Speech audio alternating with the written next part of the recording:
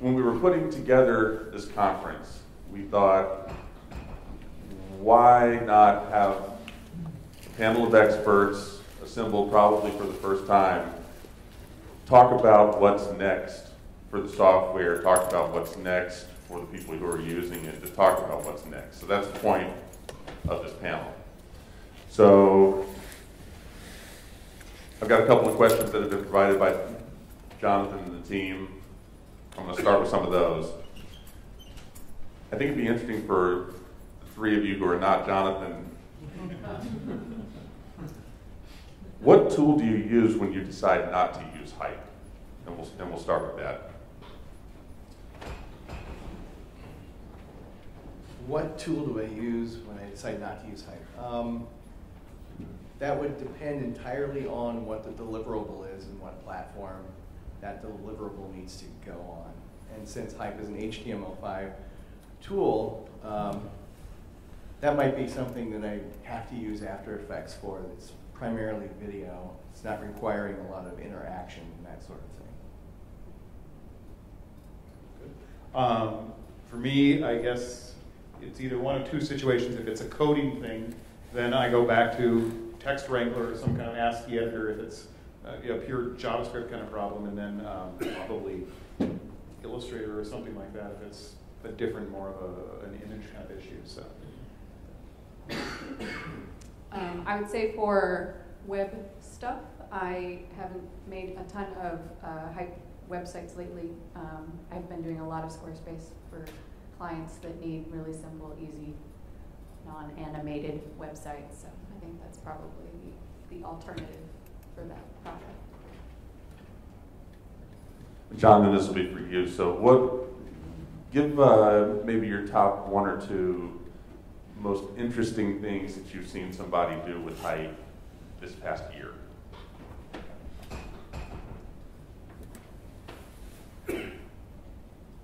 So actually, uh, the first one that comes to mind is in fact uh, Gary's book on um, a chapter start animation that was done by Susan Dean as well. I think um, for the iBook case, as I was going through the book, it was the type of thing that just really caught my attention um, when there was an animation just as a chapter start, and it was something that kind of refreshed me, got me excited about the chapter. So that's kind of a recent example, but that comes to mind.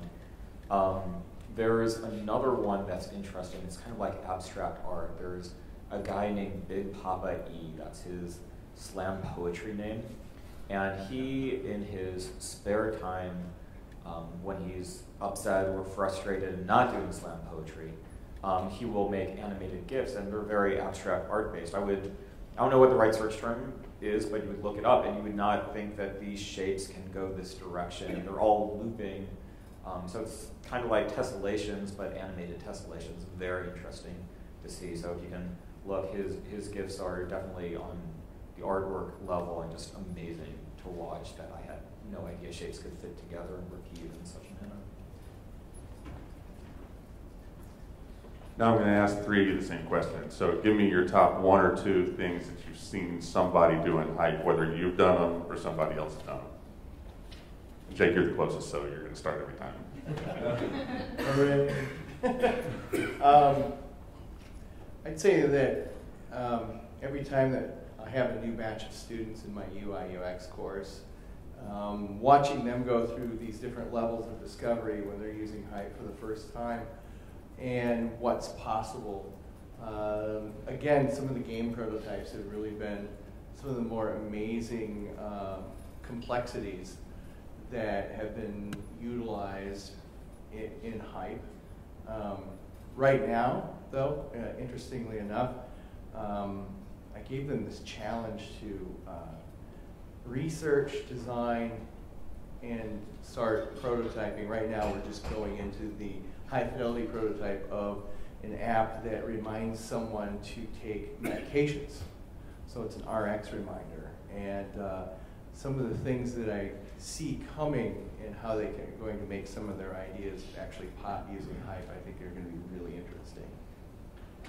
Okay, back to you, Um, well, I had time to think then while he was answering, so I like being farther away.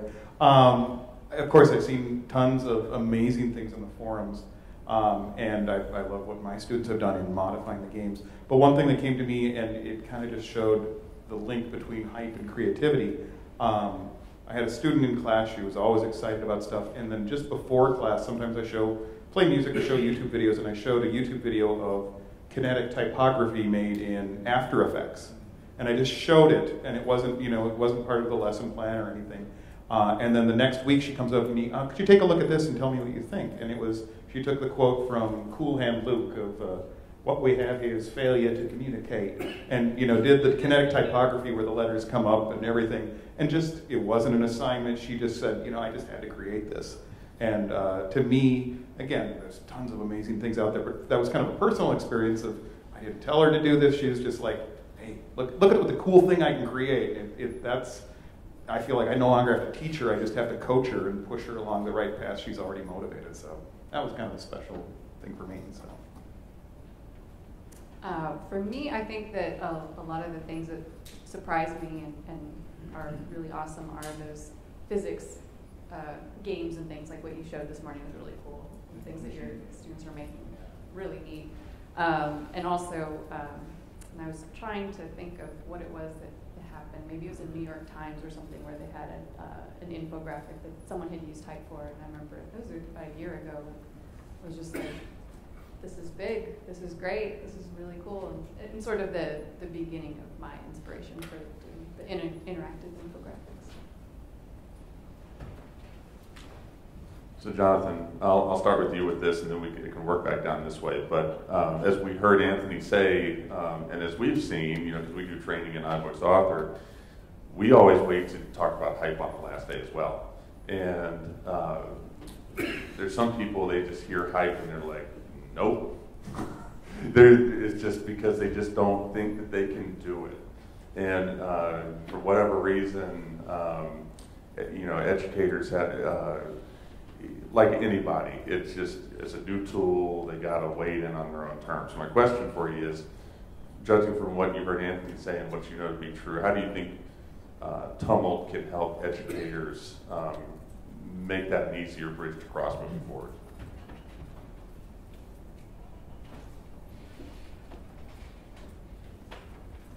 So for educators specifically, I think that there's um, kind of two main things. One is the tool as it is and how to make that more approachable. And so I think having, I, I think this conference has been great actually because now I have a lot more knowledge and insight into what people are doing in education. So I think actually um, helping bring those examples out, put them front and center, even the videos from this conference I think would be extremely useful. So I think there's just education on people's success stories um, that I would just love to see more of. Put those on our website, and then that can just say, hey, this is what people have done before. These are resources or examples. So I think that um, is good, along with education on how those things were done. So I'd say that would be one thing. Uh, the other, I think, is to more comprehensively look at some of the use cases that have been done in the past and see, of course, it's kind of take that synthesis of feedback on what are the hard things that educators are doing and try to figure out if there are better workflows. I don't know if I have specific answers off the top of my head on that, but I think um, you know always seeing more and more examples is the type of thing that gets my brain going on. Well, what hurdles are people running into, and that hopefully turns into features. Um, I, I, guess I can really just piggyback on, on saying that having uh, examples of what people have done with it and sort of showing behind the curtain uh, can really be the best way. I mean, where to put that uh, for most people to see it, I think, is really just the community sort of making that possible, uh, sharing the work that they've done and um, sharing it through the website or through the forums. Um, and, you know, if you know someone in education or someone that you think could use, just you know, spreading that word.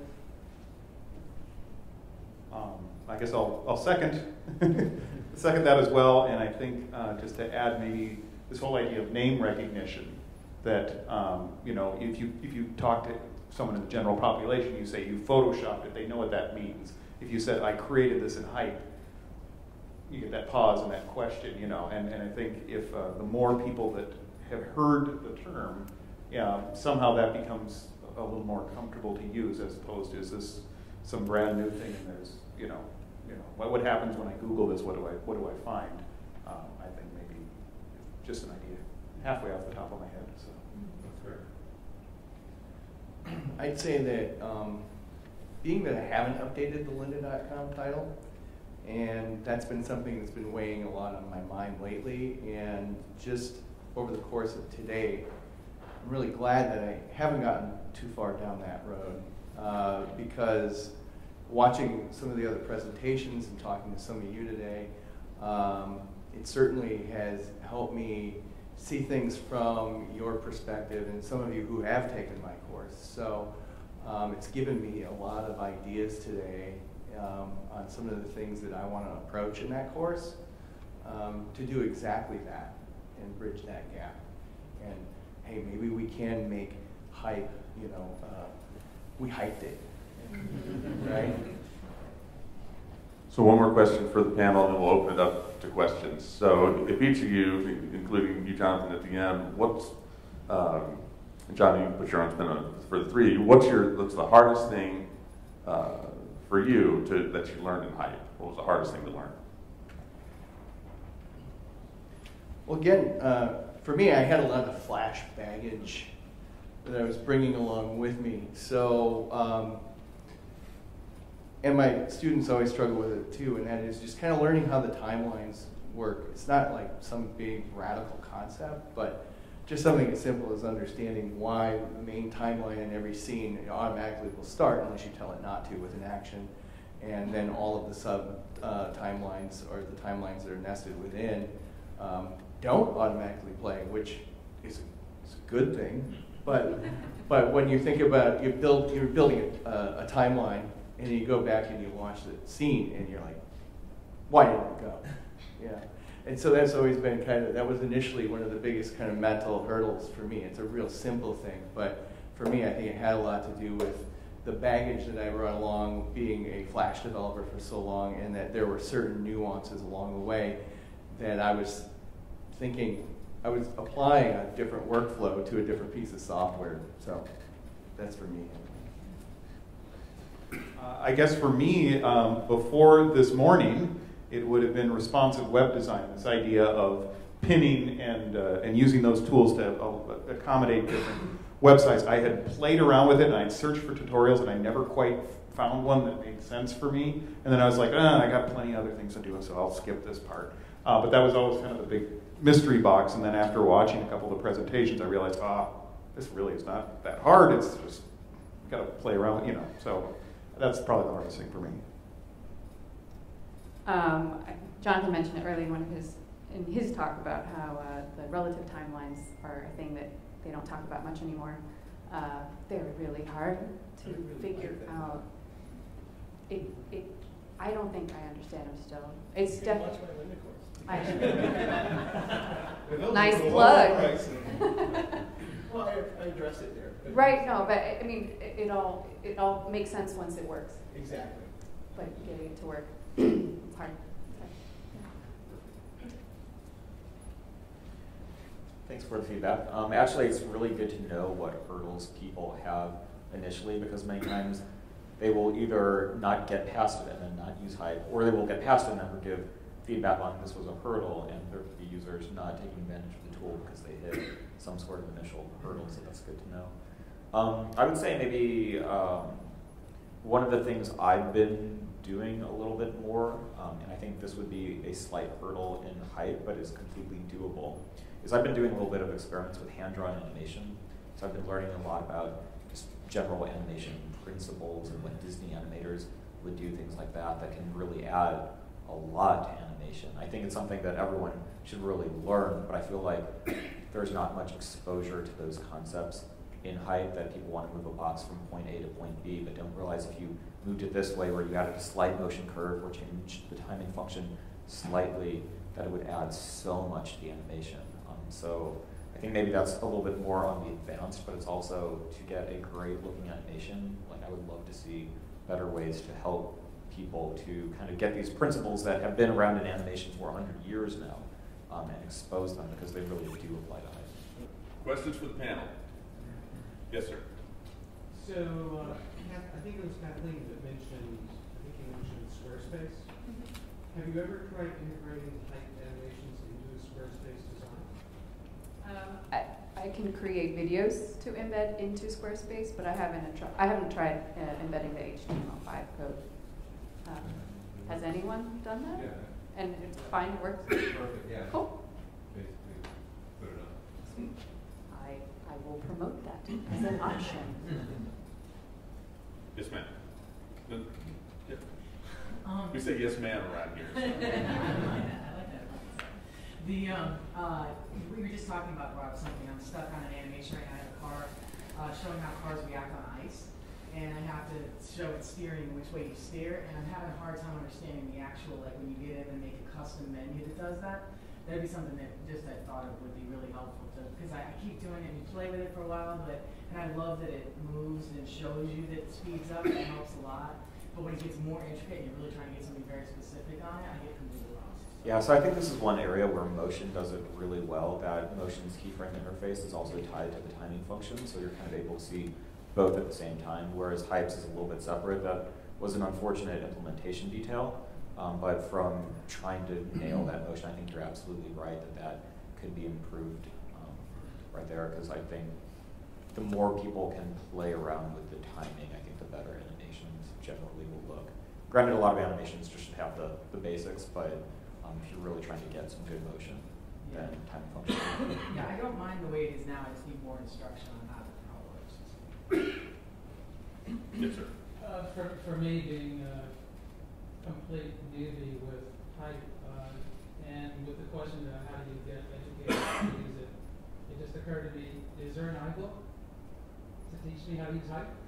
Uh, so the answer is yes. It's not one that we published. There is a book on the iBook store called "The Book About Hype." It was actually made by a user. Um, the book itself has some basics, but also goes um, pretty deep into I think like physics and JavaScript usage. It's a reflection of that user and what he wanted. Um, but there's a lot of details in that book, and there's a lot of Python animations in the book, which is also wonderful because you can embed it, and so that helps show the concepts. I think um, you know it's interesting because I'm not an educator. My mom was a teacher, so maybe it's also a question um, to people who are educators.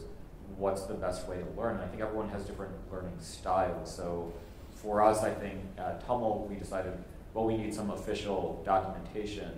And I think we took the approach, videos is maybe the best way to demonstrate, but I don't think that's true for everyone and everyone's learning style. So I'd be kind of reflect and, and say what are what might be the best approaches to teach languages would be my kind of reflection comment maybe for Darren and Jake. Well, als- also, a marketing tool towards educators was my, was the other part of my suggestion. Yeah, y'all? Um, I think video is great for the flipped classroom environment and for the self-motivated learner. That someone who is at, at home, they're going to do a Lynda course and they set up their goals to do, you know, uh, so many hours per week. Um, I think um, for many, at least my students, forcing them to be in a certain classroom at a certain time every Monday from four to six, and I'm looking over them, you know, showing them what they do, and then you do it, kind of that, you know, response. Um, that really works well for, for students who are just starting off and a little unsure of how to proceed, I think. But. Well, I, I agree. Um, not everybody learns by watching videos. Um, and that's the kind of feedback I get with the students that I teach at the university. Um, I use Lynda videos for as more of a textbook type situation. In all of the classes I teach, there are certain titles that I assign uh, for them to watch outside of class, and then my in-class tutorials are based on those assignments. So they're getting multiple exposures on how to learn a particular piece of software, which works really, really well. Um, because they come to me with these questions where maybe they didn't perceive the concept exactly or the workflow quite right or they missed a step. Um, and I usually then the in, balancing that with the in-class tutorials makes for, I think, a really a solid learning experience. So we have time for one or two more questions. Yes, sir. Um, speaking of video, and is there any, is there a proper way to control a video time uh, time code inside of Hype? Like, for example, if you want to make a video and no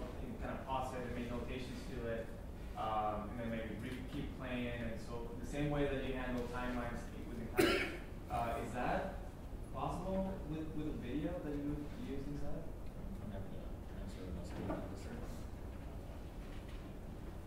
So with the video, there's not really, the video kind of plays at a point you play it, and that's about all the built-in functionality. Uh, the good thing is that there's an API, like the video Hype makes, it's just HTML5 video tab, so you can access all of that. And hype also has an API to control the timeline, so you can um, have the timeline go to any specific time, so you can kind of manually control and sync. I believe on the forums, there is some post of people, there's at least one post, and I think it's a pretty good post from someone who has a technique that synchronizes video and animation. Um, I think it's a really cool feature. But there's, there's nothing built in right now. Um, but people have done it in the past. Last question, Kelly. Is there, um, in education, we have to be mindful of closed captioning for accessibility? If I put a video in Hype and I want to be able to have the student toggle the captions on or off, is that possible, or do they have to be open captions only and put it on and then put it? Um, so the captioning in HTML5 isn't something I know about. If anyone in the room actually does know more about it, that's good. But um, if captioning is done as an individual video track, and there's, I believe there's probably ways to turn that on or access that from the HTML5 video API.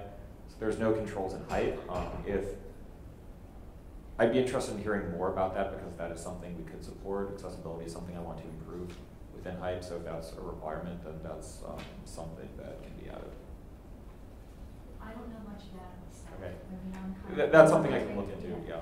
Um, as far as if they're kind of out of band, and it's really syncing something up to it. And um, the previous answer on there are some methods and forum posts would stand, but hopefully for closed captioning, that's a specific file format that's embedded in the video. Mm-hmm. And um, there's probably manual ways to control it with some code, but maybe there's ways in the app that um, that's not necessary. To put um, a video with captions and talk there, there is one specific, There are all these transcript code files at 15